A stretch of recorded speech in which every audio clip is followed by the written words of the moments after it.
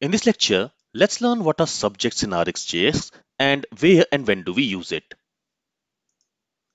A subject is a spatial type of observable that allows values to be multicasted to many observers.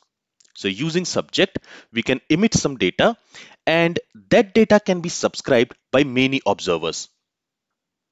The main purpose of using a subject is to make cross-component communication. So using subjects, the cross-component communication is very easy. Let's understand this with an example. And for that, let's first go ahead and let's comment this HTML. And in this project, I have created two new components.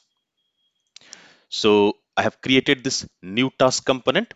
If I go to this new task component.html, there we have an input element and we have a button element. So in the app component, if I uncomment this line, okay, and let me comment this line for now. And if we go to the web page,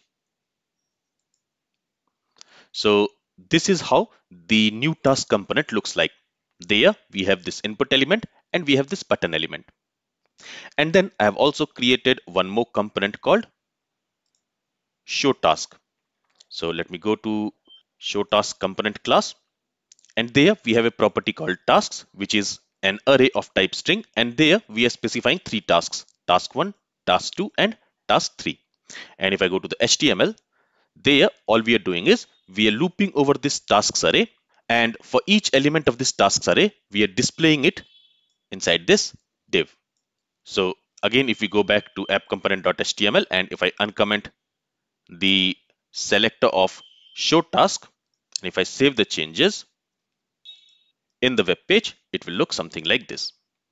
Now our requirement is let's say user has typed some task inside this input element let's say task 4 and when he clicks on this create task button we want to add that task in this list.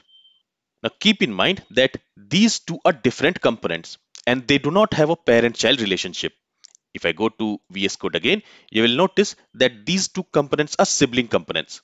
So what we want is whatever the user has entered in the input element of this new task component, we want to pass that data to this show task component and there we want to display it. Now we can easily achieve it using services and event emitters. So let's first try to do that using services and event emitters. So for that, let me go ahead and let me open this new task component and let's go to new task component.ts file. There what I will do is I'll create a property. I'll call it maybe new task. It is going to be of type string and initially let's assign it with empty string. Okay, now we want to do two-way data binding on this new task property. So I'll go to HTML file of this new task component and there on this input element I'm going to do two-way data binding. For that, we are going to use ng model directive. And for two-way data binding, first we need to wrap this ng model within square brackets, then within parentheses. And to that, let's assign that property. Now, in order to use this ng model, we also need to import forms module in the app module file. So here, let's go ahead and let's import forms module from angular slash forms. Okay, let's save the changes again. Let's go back to new task component.html and now we don't have any error. So now what will happen is in here, whatever value we will enter, that value will be assigned to this new task property. Okay. Now what I'll also do is on this button element, I'm going to bind click event. And to that, let's say on create task, we are assigning a method here. And let's go ahead and let's create this method in the component class. So let's go to new task component. There, let's create this method. And for now, what we will do is we will simply log the value which the user has entered in the input element. And that value we are going to receive inside this new task property. So here, let's say this dot new task. Let's save the changes. Let's go to the web page. Let me clear everything here. Let me enter a task. Let's say task 4. And when I click on this create task, you will see that task 4 has been logged here. Okay, so in this way, whatever value we will enter inside this input element, that value will be assigned to this new task property. Now, we also want to pass the value stored in this new task property to this show task component. For that, what we are going to do is we are going to create a new service. So in this app folder, let's go ahead and let's create a new folder. Let's call it services. And inside this services folder, let's go ahead and let's create a new file and let's call it maybe task services. And it should be task service.ts. Okay, here let's go and let's create and export a class. And I'm calling this class task service. Now this is going to be a service class. So what I will do is I'll go ahead and I'll decorate it with at injectable decorator. And in order to use this at injectable decorator, we need to import it from angular slash core. Okay. And to this at injectable decorator, let's pass a metadata object and there let's set the provided in property to root. That means we want to provide this service from the root module. In this case, from the app module. So in the last section, we learned that using a service and an event emitter, we can pass data from one component to another component, even though those components are not related. And we are going to use the same concept here. So here, first we will have to create an event emitter. We have created a service. In that service, we are going to create an event emitter. Let's call this event emitter maybe create task. It is going to be of type event emitter. And in order to use this event emitter, we need to import it from angular slash core. Okay, and here we also need to specify what type of data it is going to emit. So we want to emit a string value from here. Basically, we want to emit that value which the user has entered in this text box. All right. Now to this, let's assign an instance of event emitter. Again, it is going to emit a value of type string. All right, so here we have created an event emitter. Basically, here we are creating an event. Now, this event must be raised when something happens. And to raise this event, we are going to create another method and let's call this method on create task. All right. And from within this method, we are going to raise this create task event. So here, let's say this dot create task dot emit. We use emit method to raise an event, right? And this method is also going to receive the data which we want to emit. Let's call it maybe value. And we want to emit this value from this event emitter. Let's set its type as string. All right. So from this method, we are emitting this event. We are raising this event. Now, when do we want to call this on create task method in order to raise this create task event? We want to call this method when the button is clicked in the web page. When this button is clicked, that time we want to call this event. We want to raise this event. So we are going to call this method from within this on create task method, which is going to get called when the button will be clicked. So here, first we need an instance of this task service inside this new task component. So here let's create a property. Let's simply call it as task service and it is going to be of type task service. And in order to use this task service, we also need to import it from this file. All right. And in order to ask Angular to inject an instance of this task service, we are going to make use of inject method. And again, in order to use this inject method, we need to import it from angular slash core And to this inject method, we need to specify the type whose instance we want to be injected inside this component class. In this case, the type is going to be task service. All right. So now we will have an instance of this task service class, which will be assigned to this task service property. So what we are going to do is we are going to access this task service property and on that we are going to call this on create task method and this on create task method it is going to raise this create task event. Now to this on create task method we also need to pass a value which will be emitted when this create task event will be raised.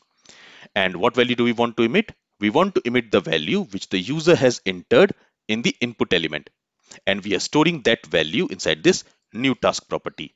So we want to emit that value. So let's say this dot new task.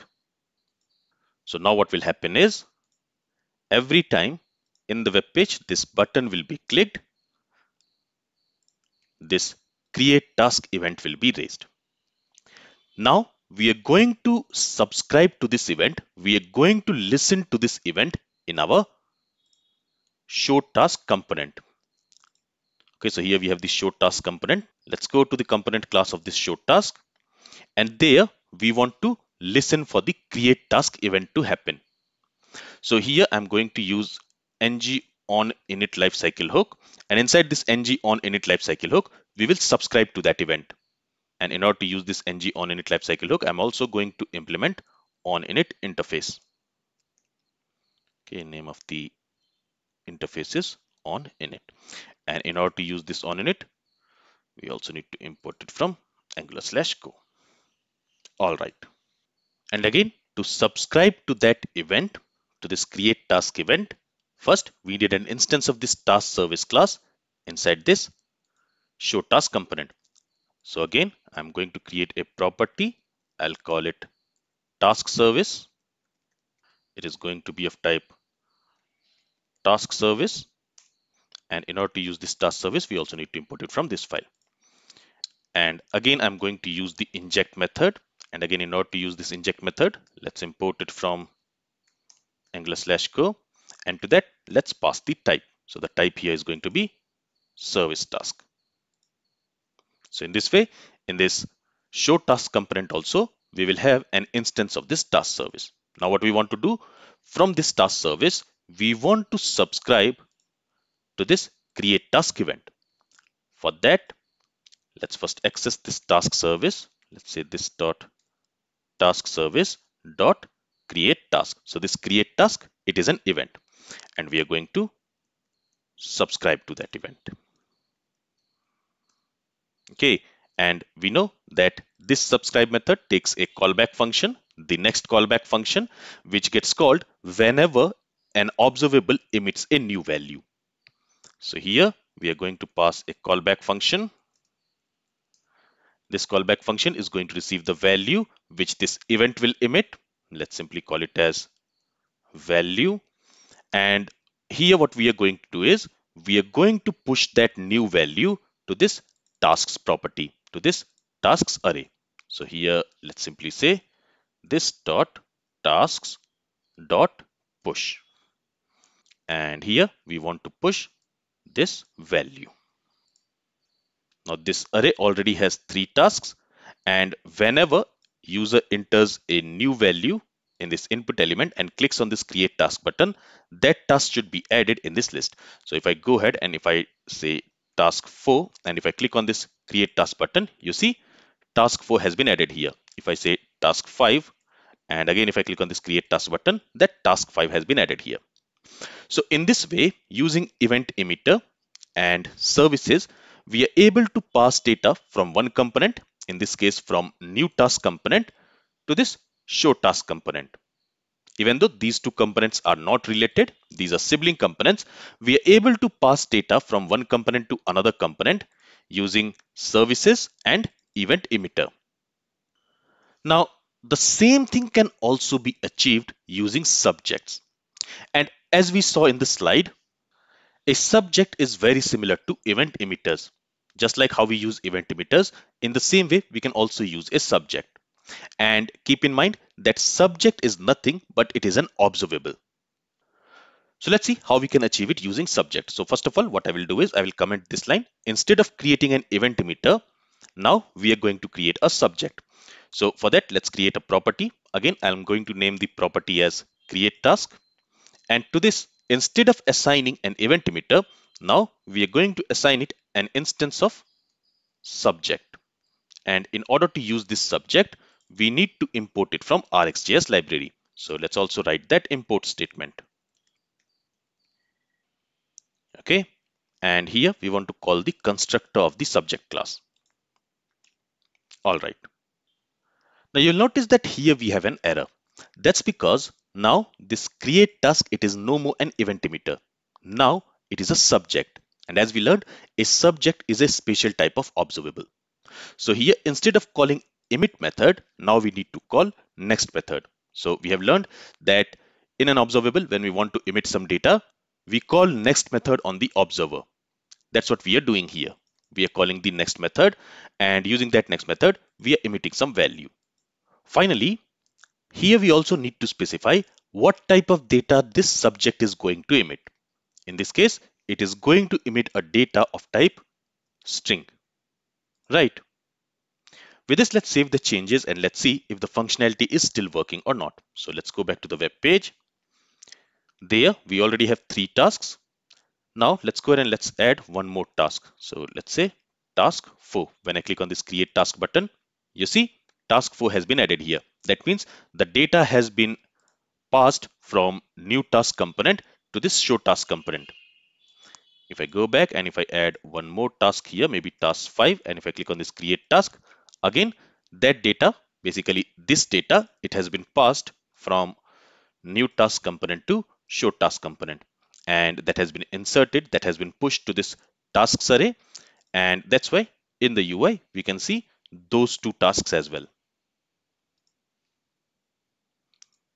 So creating and using a subject is as simple as that.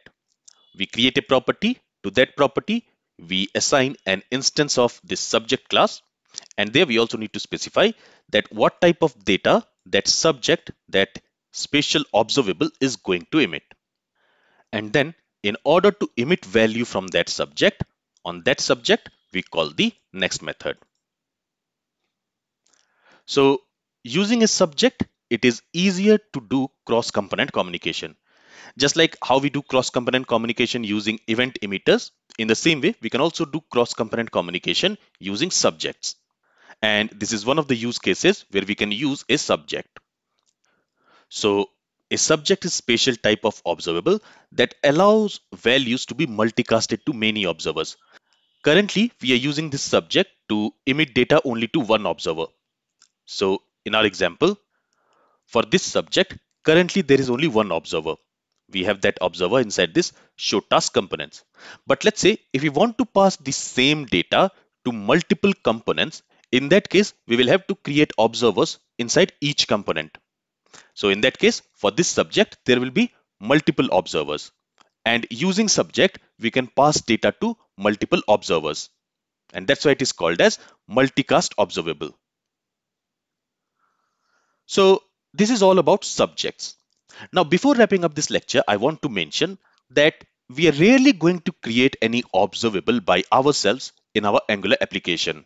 But it's not like we are not going to deal with observables at all. We are simply not going to create our own observables in an Angular application. But in our Angular application, we are going to use some methods. For example, when we will talk about HTTP request and response, there the methods which we use to make an HTTP request to the server, it returns an observable. So we are definitely going to deal with observables, but we are not going to create those observables by ourselves. Instead, we are going to get some observable and we are going to use that observable in our Angular application. And that's why it is very important to understand how observable works behind the scenes. And that's what I wanted to cover in this section. So this is all from this lecture. If you have any questions, then feel free to ask it. Thank you for listening and have a great day.